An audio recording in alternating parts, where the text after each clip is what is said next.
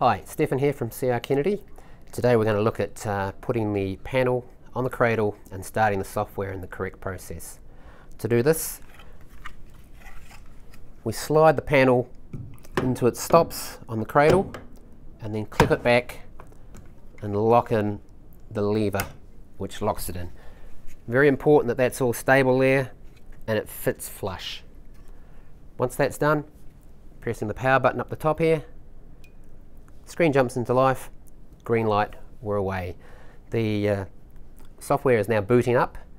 The computer is basically a, uh, a laptop similar to a laptop computer, so it has an operating system running in the background, so it's going to take a couple of seconds, uh, 30 odd seconds to, to boot up properly.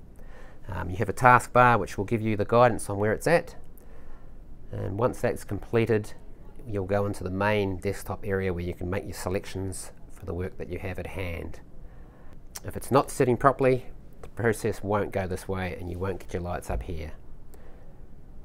And that is it. We are now up and running. You have all your options available, ready to start your day's work.